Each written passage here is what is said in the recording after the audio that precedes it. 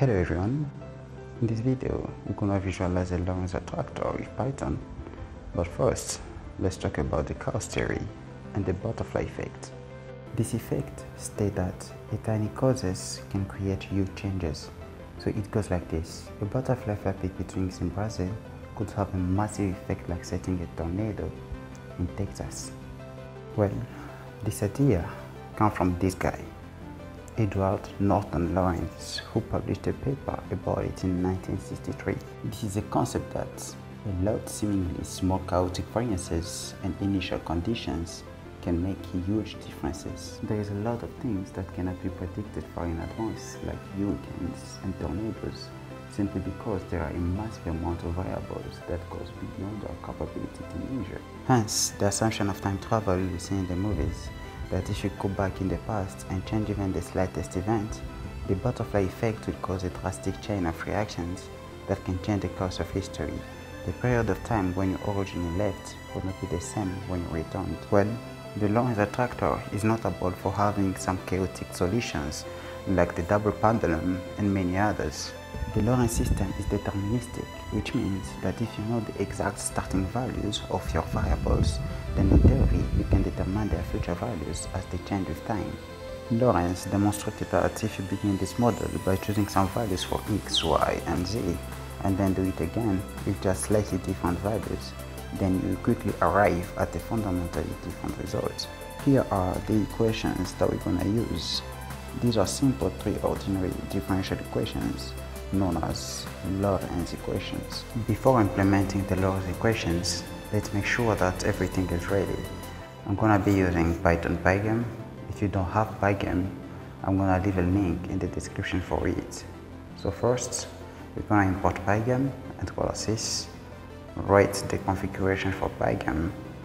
You don't really have to add OS since I'm only using it for full screen. Let's set the resolution of our screen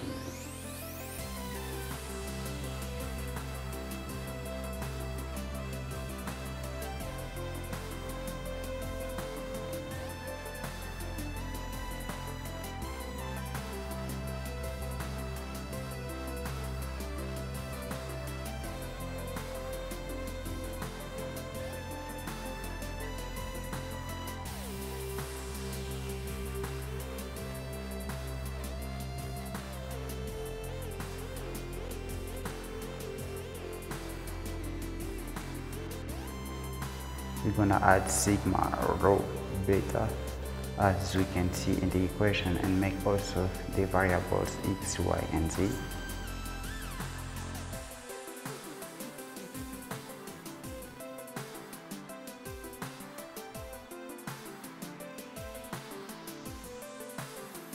Now just write as it's shown in the equation, we multiply it by time and then we're gonna add the coordinates by its equations.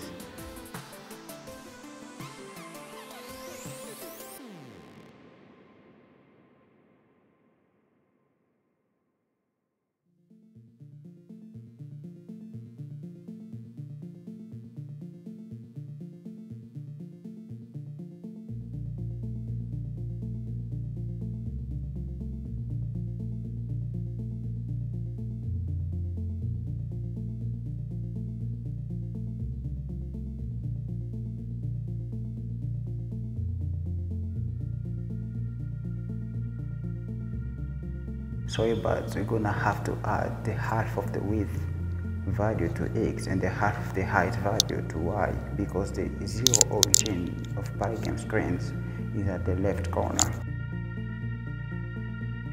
So here's the 2D representation of the Lorenz attractor but then we want it in 3D. Since the Pygame doesn't have 3D, we're gonna have to make it from scratch. First, we're gonna need the functions that multiply matrix don't worry about it. I'm gonna cover the 3D rendering soon in the next series where I'm gonna be talking about ray tracing and other things. Then uh, let's make the functions for multiplying matrix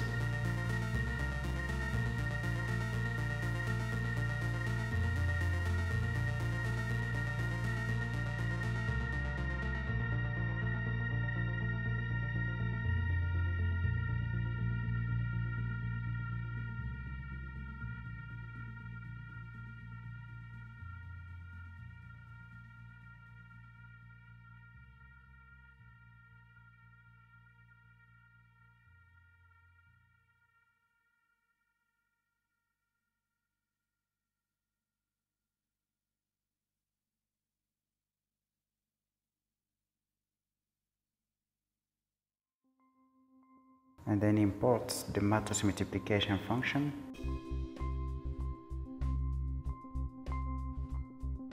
And add some variables.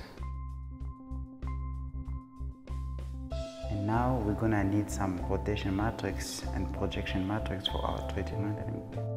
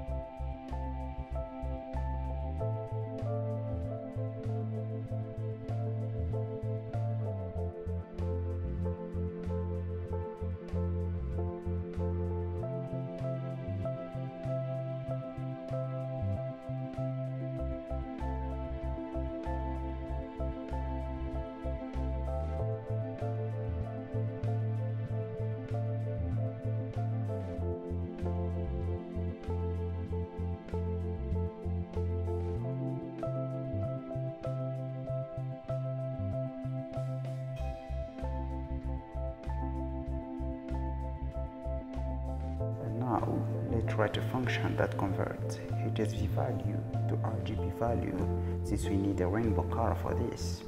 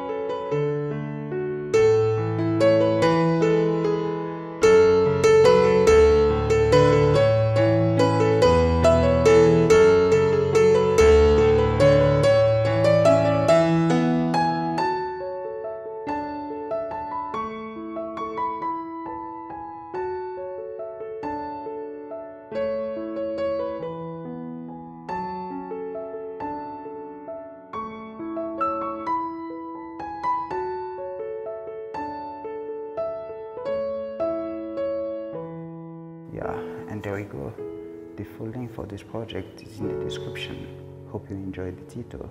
Don't forget to like, share and subscribe. See you soon.